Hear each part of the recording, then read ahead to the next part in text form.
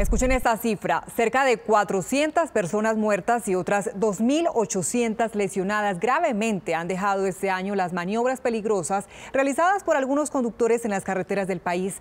Juan Carlos Pardo, recuérdenos, ¿cuáles son esas maniobras peligrosas que se deben evitar? Daniela, buenas tardes. Se trata de adelantamientos indebidos y además de giros sorpresivos inesperados. Estos son dos casos particulares que suceden en carretera. Observen cómo este conductor, sin tener en cuenta el tamaño del vehículo y los límites de velocidad, pretende maniobrar esta doble curva. Finalmente, el bus se accidenta.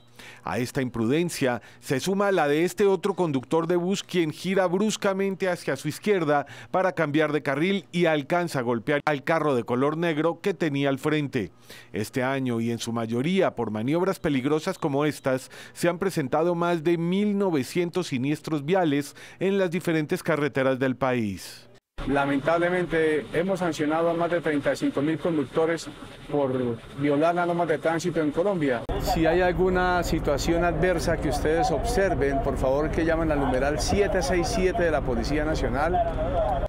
Los adelantamientos indebidos y girar bruscamente son las principales maniobras peligrosas de los conductores, pero el llamado de prevención también es para los pasajeros. Exijamos que no haya exceso de velocidad, que sean prudentes, este año han perdido la vida muchos colombianos cuando hay irresponsabilidad de los conductores, sobre todo en las vías.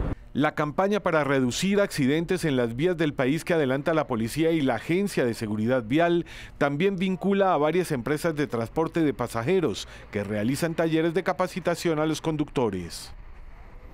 De otra parte, avanza con normalidad el plan éxodo de las diferentes ciudades del país. En Bogotá han salido más de 240 mil vehículos de cerca de 2 millones que se han movilizado por el territorio nacional según paso a peaje.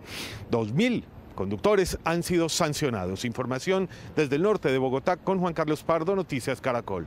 Gracias Juan Carlos y especial cuidado en este puente festivo. Entre tanto, un trágico accidente se presentó anoche cerca del peaje de la calle 13 en el suroccidente de Bogotá. Una mujer murió tras ser arrollada por una motocicleta. El reporte con nuestro ojo de la noche de los fines de semana, Kevin Díaz. Totalmente cerrada permaneció la vía Bogotá-Funza luego del accidente en el que una mujer de aproximadamente 60 años falleció tras ser arrollada por una motocicleta. Pues eso es lo que, lo que dice la gente, que iba a intentar pasar a alguien y, y lo arrolló una motocicleta. Accidentes como este son frecuentes en esta vía. La noche había mucha neblina y el tema es que no se ve absolutamente nada. Y los cruces que hay, pues también uno como motero debe respetar las señales. Por varias horas centenares de carros y vehículos de carga quedaron atrapados en un gigantesco trancón. Incluso varios conductores trataron de encontrar una salida. Eso fue como a las 10 Voy a intentar devolverme allí a ver si puedo retornar ahí a la 3. Claro, todo el mundo apagó y se acostó porque pues, ¿qué más hacen ahí? No, no hay forma de devolverse. Nada. Pero lo más preocupante para los conductores es que el lugar tiene poca iluminación. Pues yo llevo más o menos un mes haciendo este trayecto más o menos entre 11 y a esta hora. Y siempre ha sido, siempre es así. Toca es con la luz, poner luces plenas, yo ando con luz plena. A la zona llegaron varias ambulancias para trasladar a los ocupantes de la motocicleta, quienes resultaron heridos. La comunidad pide que se ilumine el sector para que no ocurran más accidentes como este.